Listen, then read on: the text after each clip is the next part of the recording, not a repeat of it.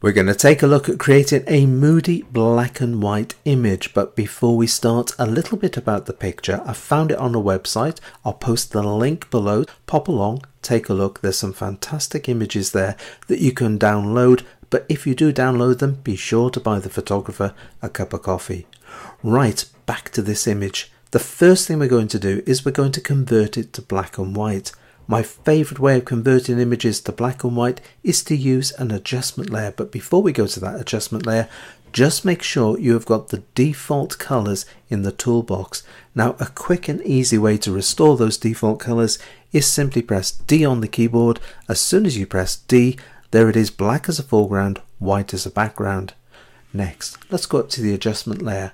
Clicking on the adjustment layers, the one we're going to use is gradient map and as soon as I click on this, there is our black and white. Now we've got black through to white, but we can change the way the tones work. Let's click in the window, which will bring up the gradient editor. Now with this, if I come over to this side, the black, clicking on it, under location, you can see it's 0%. Let's go to the white. There it is. We've now got 100%. And you may notice as well, you've got that little diamond here. Just bring your cursor so it comes over and it says color midpoint. Click down this is 50%. Now, if we move the sliders this way, you introduce more of the lighter pixels. So if I come down to where it says 50%, come over to location, clicking down, there it is, we can brighten the picture up. If we move it back in the opposite direction, we can darken the tones down. And I want to move it into this area that's looking better, something like we're getting there. There, brilliant. Just perhaps backing it up very slightly like it. What have we got? We've got 60%. So I'm going to click OK to that. Let's close this down. And there is our black and white conversion. Next, I want to darken it down even further.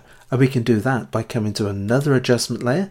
This time we're going to use solid color. As soon as I click on this, the portrait itself disappears. Make sure you've got black. So for the color picker here, go right into the corner for the black, click OK. But if we come up to the opacity, we can drop the opacity down and as we start to drop it down we can see the portrait coming back. And what I'm looking at with this particular image is the area around here of the hoodie. I'm just going to take it into that position. That will do nicely. Now with all of the adjustment layers you get a layer mask. So with the layer mask we can now use that to bring back some of the lighting in the picture. Make sure you got black as a foreground color.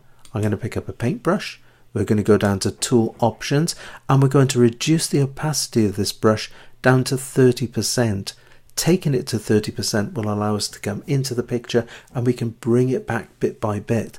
Want to make sure I've got a soft edge brush, so just scroll through. Let's pick up a soft edge brush like uh, that one there will do nicely. There it is, perhaps a little bit bigger. So I'm just going to take the size up a touch or two more. Great stuff, right. Clicking to remove that come in over this area, going to click down. Notice the way it's coming back very faintly. That's because we're using the 30%. Just going to go over this area here of his beard, up over the eye here, down round the hand. I just love the way his uh, head's being cradled by that hand there, up over here. Round we go, just says such a lot, doesn't it? Clicking on his nose, again, just brightening up around this area and again over the beard. So now we're at 60% because we've done two lots of 30. And if we come down over the cuff there, I'm going to go over the area of the beanie just to bring back a little bit more detail. Perhaps just going around the rim of the hoodie as well.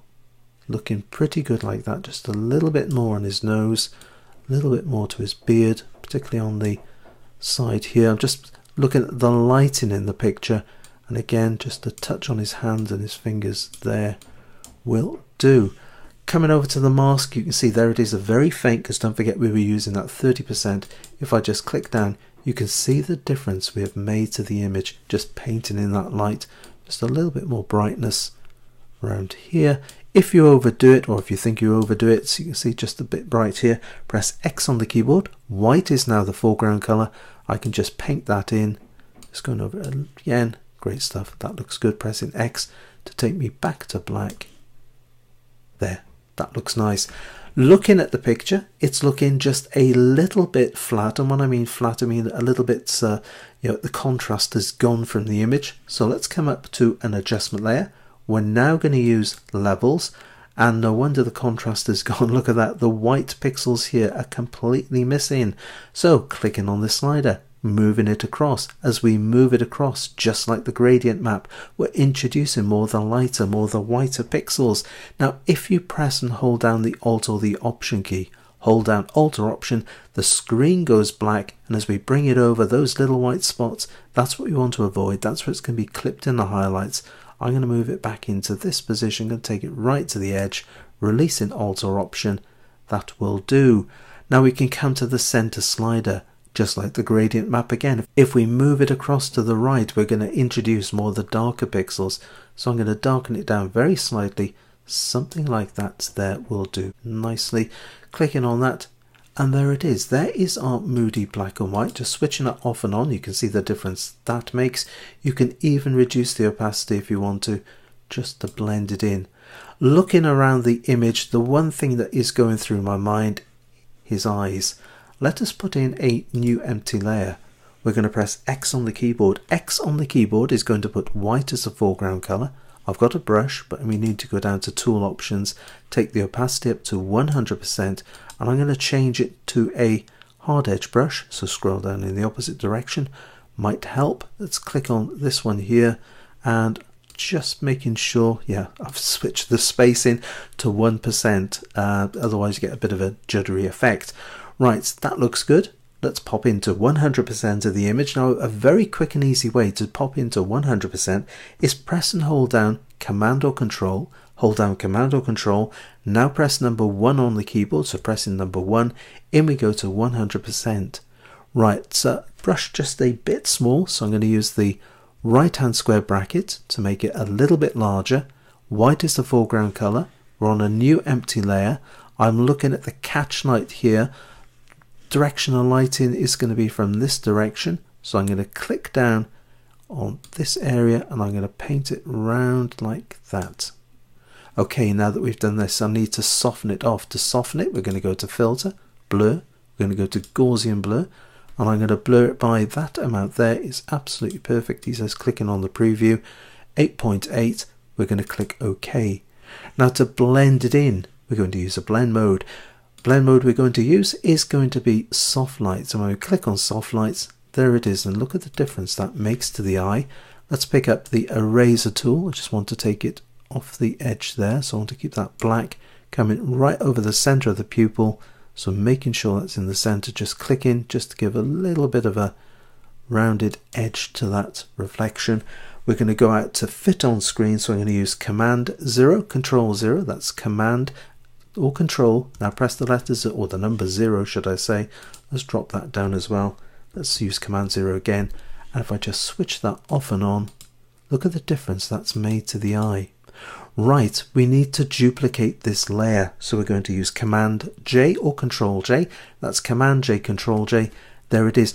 Notice the way it's brightened it up. Now, if you're using this on a portrait and you want the eye to be brighter, just duplicate the layer. Don't forget you can drop down the opacity as well but we're going to use this on its other eye. So I'm going to pick up the move tool, clicking down, we're going to move it across like that would be pretty good. And there it is. If I just switch that off and on, you can see the difference we're making. Need to zoom in to make sure we got it right in position. So once again, that shortcut we used was Command or Control. So press down and hold down Command or Control. Now number one, in we go to 100% using the spacebar to move ourselves up going to move it into position like this, picking up that eraser tool, just going round the edge like that over the center, clicking down, and there it is. Right, back out to fit on screen. I find going to fit on screen is much easier when it comes to reducing down the opacity. Going to drop the opacity down into that area there. Don't want it to be too bright. Switching it off and on. Coming down to this one, Let's have a look at that. That's 100%. Perhaps dropping it down very slightly. And there we are.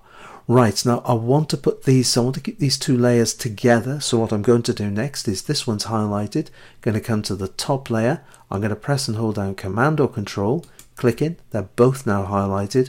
Let's come up to this icon here to create a new group. There it is, group one. I'm going to double click where it says group one. We're going to call it what it is, which is so there it is, just switching that off and on. Let's take a look. If we come down to the background layer, I'm going to press and hold down Alt or option, clicking on this. There is our color image.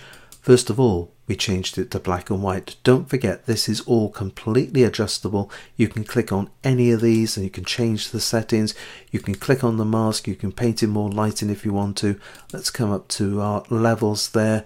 And if we have a look at the levels, you can see we reduce the opacity down and there's the eyes job done. I think that looks really good. If I just right click, let's go to a black background. I'm going to press tab on the keyboard. Tab on the keyboard is going to remove the panels. Don't forget, press tab to bring them back. There is our moody black and white portrait. I hope you've enjoyed the video. Please like and subscribe. But until the next time, it is happy imaging and take care.